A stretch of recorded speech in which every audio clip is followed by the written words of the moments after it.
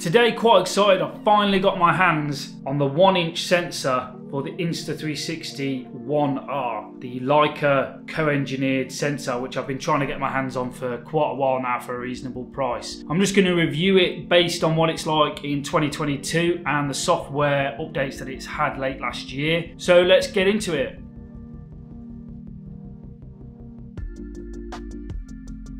So if you don't know Leica, they make some amazing, amazing cameras, which I personally haven't had the experience to get hold of. I know the ever popular Leica Q2 uh, is a very good photography camera, uh, fixed lens, 28mm, fixed aperture, 1.7, and it costs about five grand. So 48 megapixel, it's supposed to be absolutely amazing. So they have co-engineered, I don't know what input they've had into this sensor, but they've had some input. So that, along with the one inch which is unheard of in any other action camera even to this day, even though this is about two years old. Uh, that's just incredible and quite exciting really. So let's just talk about the headline specs. You've obviously got the one inch sensor, you've got f3.2, so not super wide, but the one inch sensor should cover you there. 14.4 millimeter focal length equivalent to full frame. And the rest is just your standard Insta360 1R, which you may already have. So the one inch sensor,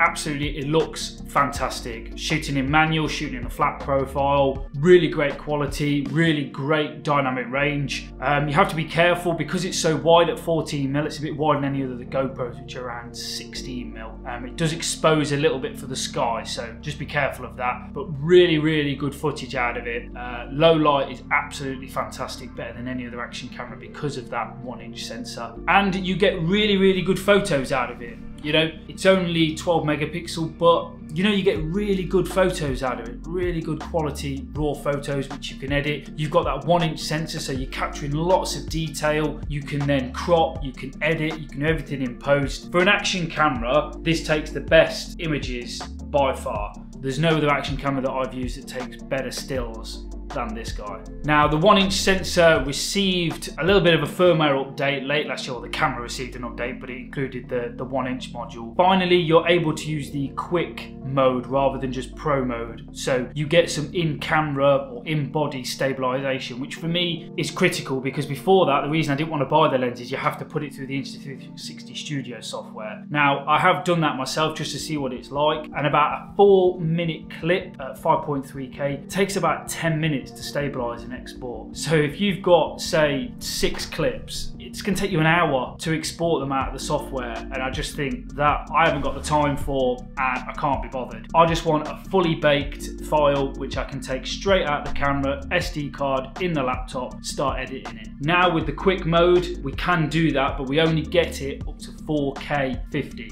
So none of that, no 5.3, 30, up to 30 frames per second in quick mode. I presume that's maybe the sensor or the core, whatever, obviously can't do it. So we're limited to 4K 50, but I think that's great. I'm happy with that. You know, I can do my 4K 24, nice cinematic shots, lovely footage and it's all stabilized for me as good as any other action camera with the FlowState. So I think that's fantastic and a real plus a real plus for the one inch lens in 2022 so I've shown you some little snippets of, of what the lens can do but I'm sure you want to see a little bit more. So here's some photo and a couple of video examples of just what it can do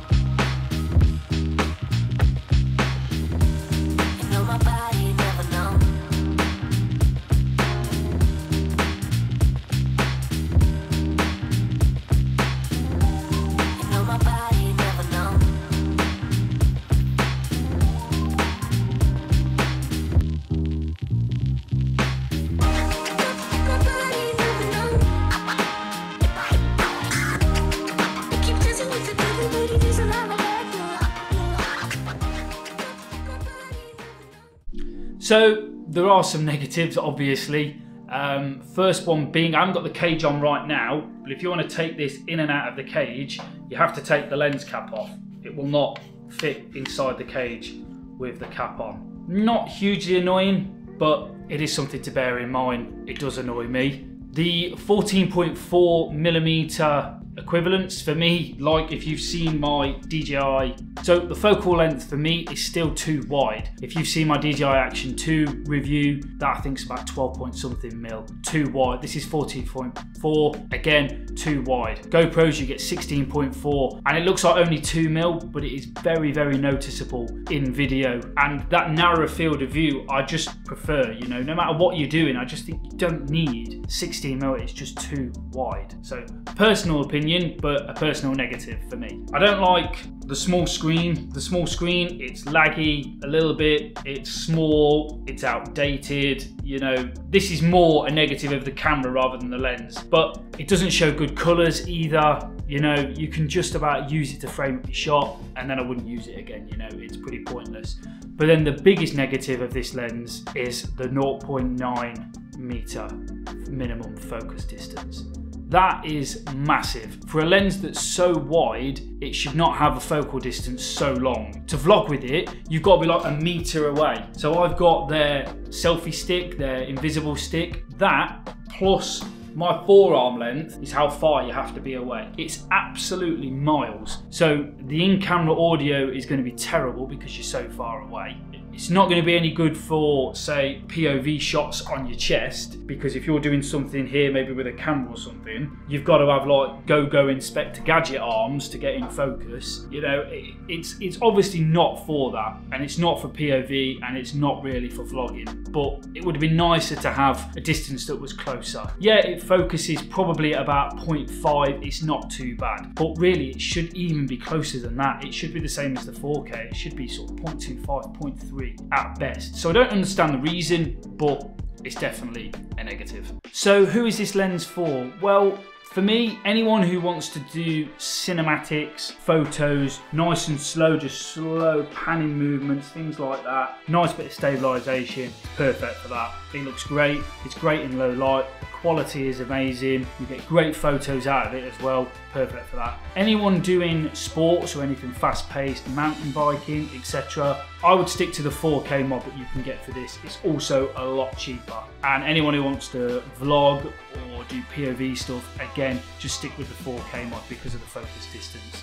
Um, this really isn't appropriate for, for that in my opinion. It's just too far away. So as ever guys, any questions, any comments, leave them down below. I'll happily answer them on this lens. Um, I think it's something that I enjoy, but was it worth the purchase? I'm not quite sure. Let me know down in the comments, guys. Do you own it? Are you thinking of buying one? What do you think of it? Are you going to keep it? Are you going to sell it? I would love to hear your thoughts. So as ever, smash that like button. Um, really helps out. I like to know that you guys enjoy what I'm creating. I'm enjoying doing it, but I like to know that you guys enjoy watching it. Uh, give the channel a subscription. Please subscribe. Um, we're getting there. We're slowly creeping up. We're slowly creeping up. Um, I would love for you to subscribe. That'd be great. And hopefully after that subscription, I'll catch you in the next one.